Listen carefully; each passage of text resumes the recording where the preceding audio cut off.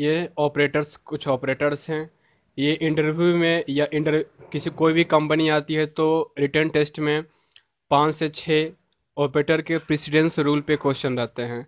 Approx पाँच से छः तो क्वेश्चन रहते ही हैं ऑपरेटर के प्रेसिडेंस रूल पे। तो ये सारे ऑपरेटर का यूज़ कर, मैं कोडिंग करूँगा। इन सारे ऑपरेटर को आप याद कर लें, कैसे यूज़ करते हैं। इन सारे ऑपरेटर का यूज़ कर, मैं कोडिंग में बताऊँगा कैसे कैसे यूज़ करते हैं इन सारे ऑपरेटर का। ये देखिए, पहला है फ़ंक्शन कॉल ऑपरेटर ये ब्रैकेट है फ़ंक्शन कॉल ऑपरेटर ये है सबस्क्रिप्ट ऑपरेटर ये देखिए सबस्क्रिप्ट ऑपरेटर अगर आप एरे में पढ़े होंगे तो एरे में इस ऑपरेटर का यूज़ करते हैं हम लोग। सी में अगर पढ़े होंगे सी में एरे तो इस ऑपरेटर का यूज़ करते हैं सबस्क्रिप्ट ऑपरेटर ये जो ऑपरेटर है, जब कोई हम फ़ंक्शन लिखते हैं लोकल वेरिएबल में, उसके बाद से जो ब्रैकेट शुरू होता है, ये ब्रैकेट वो होता है। एलिमेंट सेलेक्टर ऑपरेटर ये ऑपरेटर लगभग शायद पॉइंटर में यूज़ करते हैं हम लोग। बुलियन नोट, ये देखिए, बाइंडिंग नोट, इन सब का भी यूज़ करूँगा मैं। Post pre increment post pre decrement unary minus, type cast, diff, difference operator, address operator, size of operator, multiplication operator, division operator, modulus operator, addition operator, subtraction operator, left shift operator, right shift operator, lower than operator lower और equal operator greater than operator greater और equal to operator equal operator not equal operator binary and binary XOR इस operator का use कर, करूँगा मैं इस operator को use मैं बिना डिले जब मैं एक कोडी एक एक वीडियो बनाऊँगा जिसमें मैं विदाउट डिले यूज़ किए हुए इस ऑपरेटर का यूज़ करूँगा उसमें जब डिले नहीं लगेगा उसके बदले ये ऑपरेटर लगेगा ये ऑपरेटर टॉगलिंग का काम करता है हमारे प्रोटिया सॉफ्टवेयर पे, चाहे ये ऑपरेटर टॉगलिंग का काम करेगा ब्लिंक करवाने का काम करेगा। Boolean and boolean and boolean और ये देखिए conditional operator assignment operator operator assignment operator comma operator इसका प्रेसिडेंस रूल सबसे लो होता है कॉमा ऑपरेटर का। आप इन सारे ऑपरेटर को याद कर लीजिए। आपको कंपनी के रिटर्न टेस्ट में चार से पाँच क्वेश्चन आते हैं इन सारे ऑपरेटर से। ऑपरेटर का प्रेसिडेंस रूल कि पहले किसे प्रायोरिटी देना चाहिए, पहले किसे देना चाहिए तो इन सब पे पे क्वेश्चन आते हैं। अब देखिए हमारा if statement in embedded system हम लोग चार स्टेटमेंट पढ़ेंगे simple if if else nested of if else else if ladder तो सिंपल इफ़ में क्या होता है ना कि पहले यहाँ पे कोई कंडीशन हम दे दिए कि if pin B equal to zero तो उसके बाद यहाँ पे हम पोल port B equal to zero भी किसको ऑन करना है, किसको ऑफ़ करना है, यहाँ पे हम इफ़ ऑपरेटर का यूज़ करेंगे। जब मैं कोडिंग करूँगा तो आपको इस ऑपरेटर का यूज़ पता चल जाएगा। देखिए इफ़ इस ऑपरेटर अगर मेरा कोई भी कंडीशन अगर ये ट्रू है, अगर ये ट्रू है मेरा कंडीशन तो ये चलेगा, और अगर ये फॉल्स रहता है तो फिर ये चलता है। ये होगा इफ़ इस if else condition if the boolean expression evaluates to true then the if block will be executed otherwise the else block will be executed nested of if else if text expression 1 statement to be executed if test expression अगर पहला true हो इसमें से क्या होता है ना if else if else इन सब में से आप कितना भी लगा सकते हैं else if else if last में इनमें से अगर जो जो ब्लॉक मतलब ये हमारा अगर स्टेटमेंट फ़र्स्ट ट्रू हो तो वो चलेगा। अगर सेकेंड ट्रू हो तो वो चलेगा। अगर थर्ड ट्रू हो तो जो, वो चलेगा। तो इसमें जो जो स्टेटमेंट मेरा सही होता है, वही एग्जीक्यूट पहले होता है। इल्सिफ में, ये अगर वो फ़र्स्ट फॉल्स हो गया, पहला अगर ये ट्रू है तो ये चलेगा। लेकिन अगर पहला फॉल्स हो गया तो फिर ये चलेगा। अगर पहला, दूसरा दोनों फॉल्स हो गया तो फिर ये चलेगा। इल्सिफ टेस्ट एक्सप्रेशन ये चलेगा। तीनों अगर फॉल्स हो गया, ये तीनों अगर तो फिर ये चलेगा। All statement to be executed if all test expression are false और इन सब में से सारे फॉल्स हो गए तो फिर ये चलेगा। इल्स वाला पार्ट चलेगा। इल्स एफ़ लेडर है कंडीशन डाल दिए। If else if else if फिर बाद में कोई डिफ़ॉल्ट ब्लॉक चलेगा। अब आइए वाइल वाइल कंडीशन इसका सबसे ज़्यादा यूज़ है हमारे कोडिंग में वाइल का।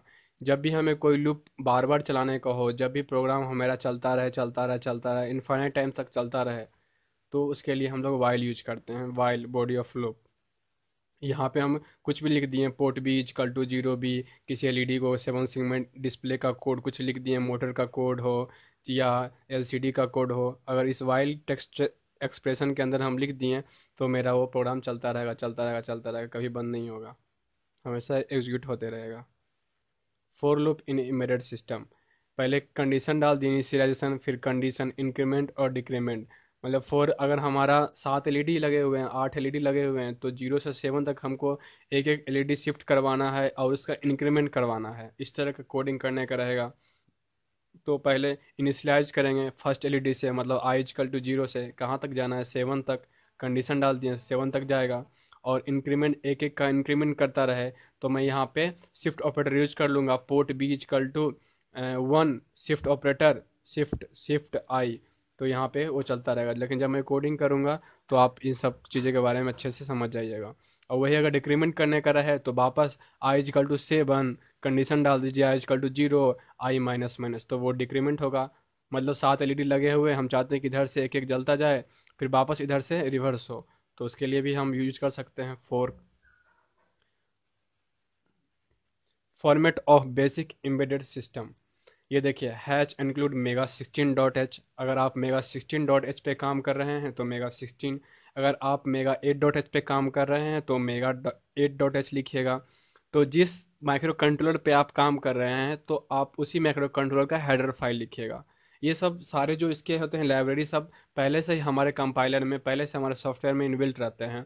कोड विजन एविया और प्रोटियस मैं दो सॉफ्टवेयर पे काम करूँगा। कोड विजन एवियर पे मैं कोडिंग करूँगा और उससे प्रोटियस सॉफ्टवेयर पे सिमुलेट करवाऊँगा। जैसे हमने कोडिंग की आप कोडिंग किए तो हम देखें कहाँ, उसके लिए हम लोग प्रोटियस सॉफ्टवेयर यूज़ करते हैं। उस पर बहुत सारे सर्किट का जो होता है लाइब्रेरी दिया हो रहता है, उस सारे सर्किट को एक जगह कलेक्शन करते हैं, हम प्रोटियस सॉफ्टवेयर डिज़ाइन करते हैं, उसके बाद सर्किट का डिज़ाइन करते हैं, हम माइक्रो कंट्रोलर में, हम जो कोड विजन ए में कोडिंग किए, उस कोडिंग को हम माइक्रो कंट्रोलर के अंदर इनबिल्ट करते हैं प्रोटियस सॉफ्टवेयर के द्वारा, उसके बाद हम उस अपने आउटपुट को देखते हैं कि हमने जो कोडिंग किया, वो कोडिंग सही है या नहीं।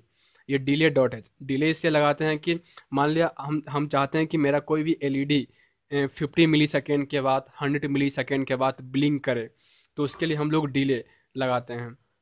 अगर आप डिले नहीं लगाइएगा तो फिर आपका, आप एक ज़ोर ऑपरेटर लगा सकते हैं, उससे भी आप टॉगल करवा सकते हैं, लेकिन डिले अच्छा रहता है। आप बहुत सारा लंबा कोड कोई कर दिए हैं, आपको उसके लिए डिले अगर आप लगाते हैं तो फ़ंक्शन के नीचे delay underscore M S twenty जब मैं कोडिंग करूँगा तो आप ये चीज़ समझ लीजिएगा। डिक्लेयर ग्लोबल वेरिएबल जैसे मैंने फोर का, आपको देखिए, मैंने यहाँ पे बताया for I equal to zero I less than seven ये। तो आपको आई क्या है? हमारा कंपाइलर नहीं समझता है कि आई क्या है। तो इसे इनिशलाइज करना पड़ता है ग्लोबल वेरिएबल में। यहाँ यहाँ पे इनिशलाइज करना पड़ेगा unsigned char integer I semicolon यहाँ पे आप इनिशलाइज कीजिएगा तो जितना बार भी आप अपने कोड में आई का वैल्यू लिखिएगा, वो बार बार उसे कॉल कर लेगा। तो इसे ग्लोबल वेरिएबल कहते हैं। तो यहाँ पे क्या होगा? यहाँ से हमारा बॉडी का पार्ट शुरू होगा। यहाँ से हम कोडिंग करेंगे। इसके अंदर वाइल लगाएँगे फोर लगाएँगे port A port B pin B direction register सब हम लोकल वेरिएबल में ही डिसाइड करेंगे। लेकिन हम चाहते हैं कि कोई मेरा फ़ंक्शन कॉल करे। अगर कॉल करने का रहेगा तो उसे हमें ग्लोबल वेरिएबल में डिक्लेयर करना होगा। ताकि जब भी मेरा प्रोग्राम एग्जीक्यूट हो तो बाप हर बार उसे उस फ़ंक्शन को कॉल कर लें। जैसे आई कल टू ज़ीरो है तो आई क्या है तो पता नहीं है ना? तो हम लोग यहाँ पे ग्लोबल में इंटीजर आई सेमी कॉलम लगा देंगे। तो जब भी आई हम अपने कोड में कहीं भी आई लिखेंगे तो उसे हमेशा वो कॉल करता रहेगा। अब वेरिएबल स्टोर क्या होता है? लोकल वेरिएबल क्या होता है? ग्लोबल वेरिएबल क्या होता है? जो मैंने बताया वही है। Local variable are those variables which are declared inside in a particular function and these in a particular function and these variables can only be used in that particular only global Global variables are those variables which are declared before all the function, after the header files. ये, इसे हम लोग header files बोलते हैं। Hash include mega sixteen dot H hash include delay dot H ये हमारा header file है। इसे मेंशन करना पड़ता है। अगर आप अपने कोड में डिले लिख रहे हैं तो आप डिले का हेडर फ़ाइल आपको मेंशन करना होगा। आप किस पोर्ट किस माइक्रो कंट्रोलर का यूज़ कर रहे हैं तो उसका हेडर फ़ाइल यूज़ करना। क्योंकि हर एक माइक्रो कंट्रोलर का अलग अलग पर्पस यूज़ करते हैं अलग अलग फ़ंक्शन होता है, उसमें उस तरह का कोडिंग किया हो रहता है कि आप इसको इसी पर्पज़ के लिए यूज़ कर सकते हैं। तो जो मेरा मेगा सिक्सटीन डॉट है, इसमें चार पोर्ट होते हैं, ये सब मैं पहले वाले वीडियो में बता चुका हूँ। जब मैं कोडिंग करूँगा तो और अच्छे से आपको सब चीज़ समझ में आएगा। नेक्स्ट वीडियो मेरा कोडिंग ही रहेगा और कैसे फ़ाइल बनाते हैं कोड विजन ए में और कैसे प्रोटीएस पे काम करते हैं। मैं इन सब के बारे में नेक्स्ट वीडियो मेरा यही रहेगा। ये हो गया। अब देखिए डी डी आर एक्स क्या होता है? डी डी आर एक्स क्या होता है? देखिए some important register of mega sixteen dot H D D R X for setting the direction that is input और आउटपुट डायरेक्शन रजिस्टर मतलब ये है कि आप माइक्रो कंट्रोलर के अंदर, आप कोडिंग किए हैं तो कोडिंग आप माइक्रो कंट्रोलर के अंदर रखना चाहते हैं। तो हमारा जो हो गया कि माइक्रो कंट्रोलर के अंदर रखे हैं रखे हैं कोडिंग को, रख दिए इनबिल्ट कर दिए तो आप उस कोडिंग को देखिएगा कहाँ से? तो आउटपुट आप एलईडी लगाइए सेवन सेगमेंट एलसीडी लगाइए, इन सब चीज़ें लगाइए। बाहर से देखने के लिए तो आपको डिसाइड करना होगा कि आप कि, क्या करना चाहते हैं। आप अपने डायरेक्शन रजिस्टर को इनपुट बनाना चाहते हैं या आउटपुट बनाना चाहते हैं। वही अगर देखिए, जैसे आप सेंसर लगा दीजिए स्विच लगा दीजिए तो ये सब क्या होगा कि हम बाहर से एक्सटर्नली हम माइक्रो कंट्रोलर को ये सब चीज़ देंगे कि मेरा ये काम करे स्विच प्रेस कर प्रेस करो तो मेरा ये एलईडी ग्लो हो स्विच प्रेस करो तो मेरा सेवन सेगमेंट पे फाइव प्रिंट हो स्विच प्रेस करो तो मेरे एलसीडी पे ये प्रिंट हो। तो आप पे डिसाइड है कि आप क्या लेना चाहते हैं। जब मैं कोडिंग करूँगा तो उसके बारे में भी आप सब कुछ क्लियर हो जाएगा। आप पेशेंस रखिए। डी डी आर भी जैसे मैंने देखिए वन वन वन सारे को वन किया, फिर देखिए ज़ीरो के वो आप पे डिपेंड है। पोर्ट बी को डी डी आर बी को मैंने वन कर दिया डी डी आर सी को ज़ीरो कर दिया। कुछ पिन को इन किया, कुछ पिन को आउट कर दिया। आप किसी पार्टिकुलर पिन को भी इन और आउट कर सकते हैं, जैसे D D R A point five तो इससे क्या होगा कि पाँचवा पिन रजिस्टर ए का सिर्फ़ जो पाँचवा पिन होगा, वो हमारा इनपुट होगा। और D D R A point two का, वो इजकल टू वन, जो मेरा दूसरा पिन होगा डी डी आर ए का पॉइंट टू का, वो हमारा आउटपुट होगा। तो आप इसे यूज़ कर सकते हैं स्विच वगैरह, सेंसर वगैरह, क्योंकि स्विच तो एक ही दो लग, अगर आप कोई प्रोजेक्ट बनाइएगा तो उसमें स्विच तो एक ही दो, तीन, चार रहेंगे मैक्सिमम, पाँच रहेंगे मैक्सिमम। तो सारे पोर्ट का आप क्यों यूज़ कीजिएगा? आपको जितने पोर्ट का ज़रूरत है आप उतना ही यूज़ कीजिए, बाकी समय कोई एक्सटर्नली सर्किट लगा दीजिए डिवाइस लगा दीजिए, जो आपका काम आ जाए आपके प्रोजेक्ट में। देखिए पोर्ट एक्स क्या होता है? This register is use to assign the value of port जैसे one one zero zero zero value assign करने के लिए हम लोग पोर्ट यूज़ करते हैं। जैसे किसी पार्टिकुलर के लिए भी आप पोर्ट यूज़ करते हैं पोर्ट फोर पॉइंट वन मतलब सिर्फ़ पॉइंट फोर का जो होगा, वही हमारा काम करेगा। पिन में देखिए this register is use to read the value of port जो पोर्ट में रहते हैं, उसके वैल्यू को रीड करने के लिए हम लोग पिन यूज़ करते हैं। Pin B point five equal to equal to zero ये असाइनमेंट ऑपरेटर है। Pin C equal to equal to zero B अब कुछ भी है पिन सी में आप सबको ले लिए वन वन तो आप पे डिपेंड है, आप किस, क्या करना चाहते हैं। By default input and output of pin of AVR controller is having logic zero देखिए how to use direction port और पिन। मैं पहले भी वीडियो में बता चुका हूँ, आज फिर बता रहा हूँ, क्योंकि नेक्स्ट वीडियो मेरा कोडिंग रहेगा और हम नहीं चाहते हैं कि आपको कन्फ्यूज़न रहे, डायरेक्शन रजिस्टर क्या होता है, पोर्ट क्या होता है, पिन क्या होता है। तो आप इसे अच्छे से समझ लीजिए। डी डी आर एक्स मतलब डायरेक्शन, या तो इन कर सकते हैं, या तो आउट कर सकते हैं। तो ये तो बाय डायरेक्शनल हो गया, वो आप पे डिपेंड है। आप अपने माइक्रो कंट्रोल से डेटा अंदर रखना चाहते हैं, या डेटा बाहर भेजना चाहते हैं। तो वो आप पे है, इसीलिए हम देखिए बाय डायरेक्शनल का हमने साइन दिया है। पोर्ट क्या होता है? माइक्रो कंट्रोलर से आउटपुट का आउटपुट देखने के लिए हम लोग पोर्ट करते हैं। माइक्रो कंट्रोलर में मैंने कोडिंग किया तो उसका आउटपुट देखें देखेंगे कहाँ? एल सी डी पे सेवन सिगमेंट पे एल ई डी पे। तो वो आउटपुट के लिए देखिए माइक्रो कंट्रोलर से आउटपुट जाने के लिए हम लोग पोर्ट यूज़ करते हैं। पिन में क्या होता है? आउटपुट से माइक्रो कंट्रोलर मतलब स्विच हुआ सेंसर हुआ, ये सब मेरा आउटपुट डिवाइस हुआ। इसमें हम जो भी करेंगे, इसके लिए कोडिंग हम जो भी करेंगे, वो क्या? माइक्रो कंट्रोलर के अंदर चाहिए हमको तो वो माइक्रो कंट्रोलर के अंदर रहेगा। देखिए, अब ये सिंपल भाषा में सिंपल लैंग्वेज में। पूछने का रहेगा, तब पिन यूज़ कीजिएगा। जब रखने का रहेगा डेटा रखने का रहेगा, तब पोर्ट यूज़ कीजिएगा। जब डायरेक्शन डिसाइड करने का रहेगा इनपुट और आउटपुट तो आप D D R X use कीजिएगा। एलईडी क्या होगा? एलईडी क्या होगा कि it is a P N junction diode which emits light when activated when a suitable voltage is applied to the leads electrons are able to recombine with electron holes within the device releasing energy in the form of photons इसी कारण हम लोग को दिखता है LED ये देखिए symbol है एनोड और कैथोड इलेक्ट्रॉन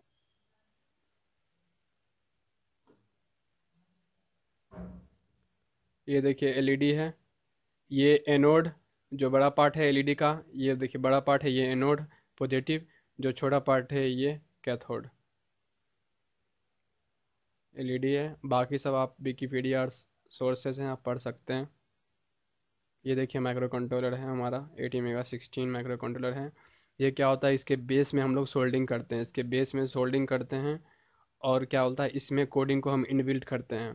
और इस इस पिन को इसमें हम फिट करते हैं।